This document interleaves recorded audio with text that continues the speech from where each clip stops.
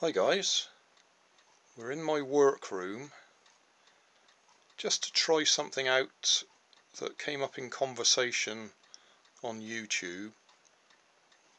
It's a little project that was suggested to me probably a couple of years ago and I never got round to. I'll just talk you through what we've got here.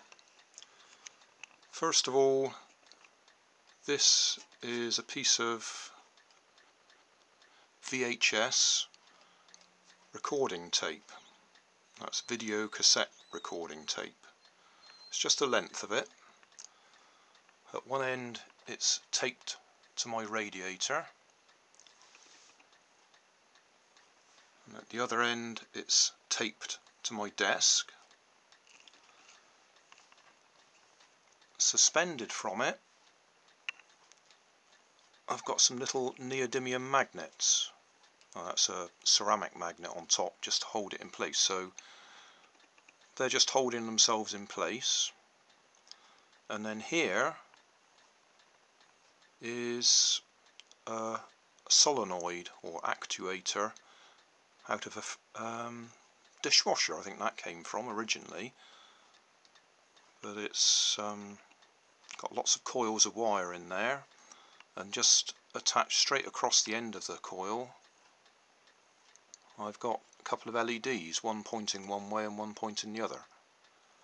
And if you bounce this up and down, you can see the LEDs flash. I'll just turn that light out so we've got a bit, ooh, a bit dark, but if I just tap it again, there you go. Now the idea is you arrange, I'll put the light back on again for now, you arrange for the wind to blow over this tape so you put it in a window where you've got a little gap under the window or something. So the wind blows across it and makes it vibrate up and down and produce electricity. So I'm going to try it using a hairdryer alright it's going to be a bit dark and I've no idea if the camera is going to focus in the dark I've got my hair dryer here so we'll see what we can do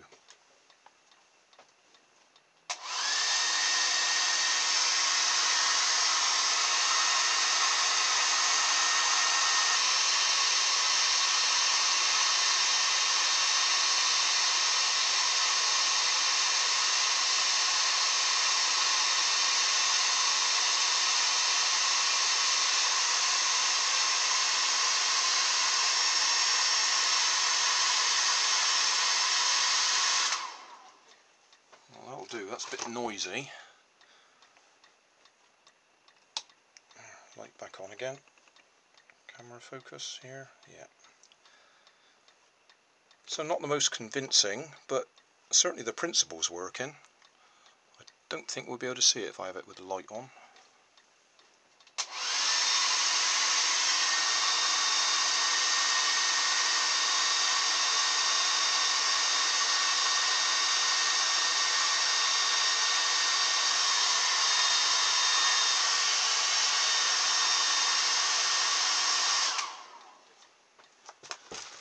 Watch the video back to see if it worked.